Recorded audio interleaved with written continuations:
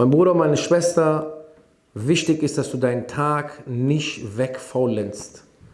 Dass du sitzt und dich selber sagst, ey, was mache ich heute? Was mache ich morgen? Ich weiß nicht, was zu tun ist. Dieser, diese Sache darf gar nicht erst entstehen. Du musst beschäftigt sein. Beschäftigung lässt den Shaitan von dir weg. Wenn du dich nicht beschäftigst, wird der Shaitan sich mit dir beschäftigen. Das ist eine sehr, sehr wichtige Angelegenheit. Die meisten kriegen das nicht hin, weil die sich nicht beschäftigen. Die sitzen und denken darüber nach. Und wenn die dann nicht mehr weiter wissen, dann nehmen sie das Handy in die Hand und gucken sich eine Story nach der anderen, ein Reel nach dem anderen, ein Short nach dem nächsten.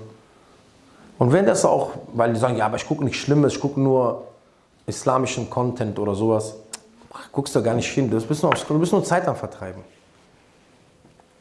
Dann nimm dir lieber Zeit, mach dir Ziele selber, gestalte deinen Tag, indem du sagst, okay, ich werde jetzt strukturiert lernen, ich gehe einen Weg und lerne strukturiert, ich werde strukturiert den Koran lesen, ich werde das machen und dies tun. Ja, gib dir Sachen. Ich werde Sport machen, ich werde dies machen. Ein Muslim muss sein Alltag gestalten können. Es geht nicht, dass der Tag ist. Warum? Weil du nicht weißt, ob du den nächsten Tag noch da bist. يا ذاكر الأصحاب كن متأدبا.